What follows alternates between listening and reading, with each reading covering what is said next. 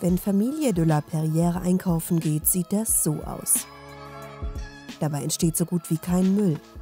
Früher hat die Familie jede Woche zwei große Müllsäcke weggeworfen. Heute sind es ungefähr 10 Liter pro Monat. Wenn wir im Kühlschrank gucken und dann eine Alternative zu einer verpackten Ware, die wir dann so unverpackt oder mit einer äh, wiederverwendbaren Verpackung dann haben können, das ist immer dieser kleine Sieg, ähm, ist, ja, ist bereichend und gibt Lust auf mehr. Marie gehört der Unverpacktladen, der damals erste in Deutschland. Sie hält Vorträge, berät Firmen und Privatpersonen.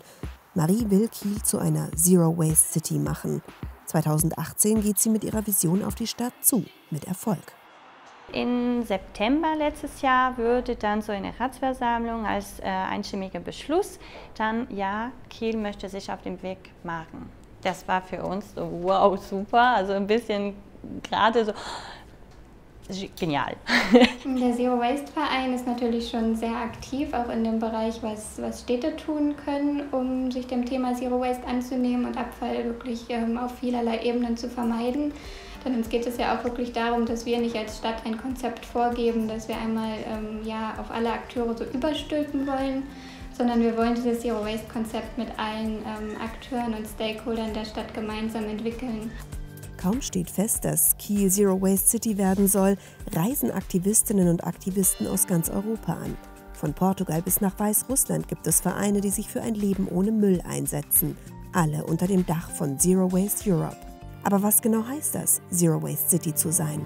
Ein Staat, der sich auf dem Weg zu Zero City macht, ist ein Staat, der sich bereit erklärt, seinen Müllaufkommen zu reduzieren, indem äh, sie durch ähm, Workshop in verschiedene Schritte ähm, analysiert, was haben wir an Müll, was können wir reduzieren, wie können wir das reduzieren.